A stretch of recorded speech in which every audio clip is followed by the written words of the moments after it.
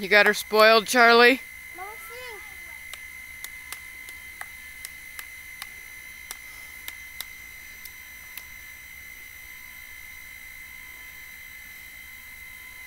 Oh, I can't get you.